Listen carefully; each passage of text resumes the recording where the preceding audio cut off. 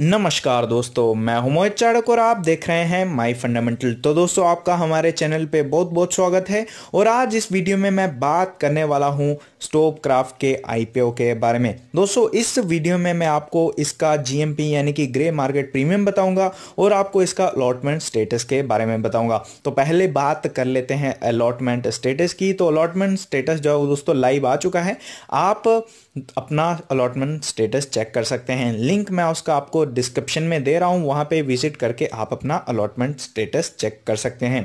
तो दोस्तों जीएमपी बताने से पहले मैं आपको बताना चाहता हूँ कि अगर आप का कोई डाउट या फिर कोई क्वेरी है तो आप हमें पूछ सकते हैं इंस्टाग्राम या टेलीग्राम पे।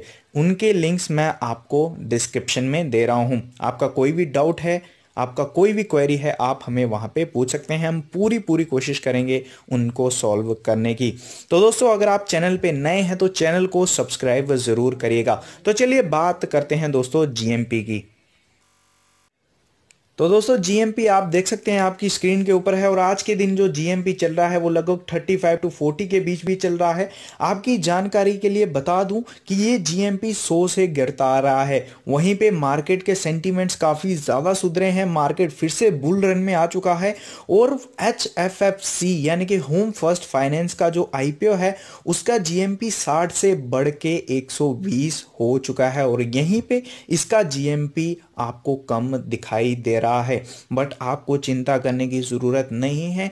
एटलीस्ट ये आई की तरह डिस्काउंट पे लिस्ट नहीं होगा। इसको 26 टाइम्स सब्सक्राइब किया गया है रिटेल इन्वेस्टर्स के द्वारा। तो इसलिए अगर आपको इसका अलॉटमेंट मिल चुका है, अगर आपके पास आ चुका है तो आप कमेंट करके बता सकते हैं और आप इसके बारे में क्या सोचते हैं, ये भी आप ज़रूर बताइएगा। अगर आप मेरी माने तो डेफिनेटली आप इस आईपीओ में थोड़ा बहुत लंबा सो सकते हैं और आप खुद सोचिए कि इंडिगो की जो लिस्टिंग होती है, वो कहाँ पे होती है और क्लोजिंग उसको 110 परसेंट पे मिलती है। इस तरह का बिहेवियर भी बुल रन में आपको आईपीओस में देखने को मिलता है। स्ट्रिक्ट स्टॉप लॉस लेके चलें पाँच या दस परसेंट का आप इसमें स्टॉप लॉस लेके चलें और आईपीओ की लिस्टिंग होने के बाद भी अगर आप पोजिशन होल्ड करके इस स्ट्रेटेजी को फॉलो करते हैं तो आपको अच्छे खासे रिटर्न यहाँ से देखने को मिलेंगे। तो ये चिंता ज़रूर बढ़ी हुई है कि होम फ़र्स्ट फाइनेंस का आईपीओ का जो जीएमपी है, वो डबल हो गया और वहीं पे इसका जीएमपी 60 से गिर के 35 के आसपास आ गया। तो वीडियो अच्छी लगे लाइक सब्सक्राइब और शेयर ज़रूर करें। धन्यवाद।